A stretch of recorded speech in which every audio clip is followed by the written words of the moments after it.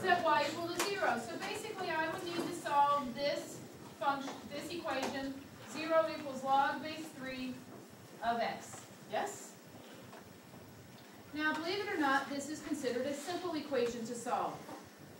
If you want to solve any logarithmic equation, where the thing you're trying to get to is after your log, it's the argument of your logarithm, then the way to go is to change to the other form.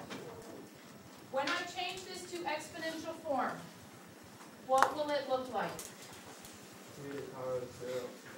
3 to the 0. So in exponential form,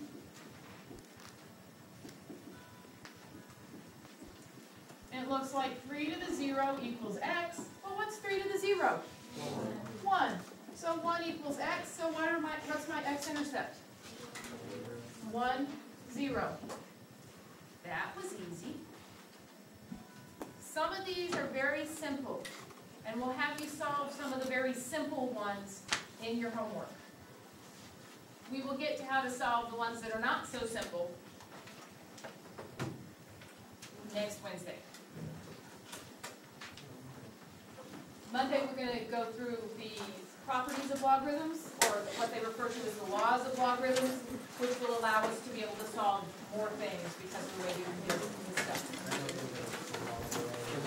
Sunday's uh, not a school holiday. We're just not doing that part yet. Basically, you should be able to do all of this stuff now.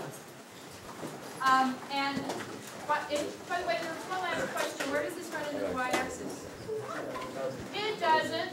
It has a vertical asymptote.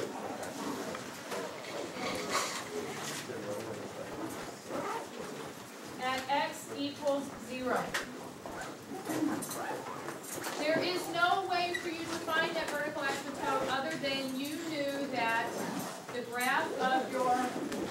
Original function, the f of x equals a to the edge, when you reflected it over the line y equals x to get your inverse function, the logarithm, this one did not run into the x-axis, so when you reflect over, you're not going to run into the y-axis. So you'll have this vertical asymptote. It's not like rational functions where you can take the denominator and make make it zero. It's always going to be there. The only difference is if you move the graph left or right, it's going to move left or right with the graph.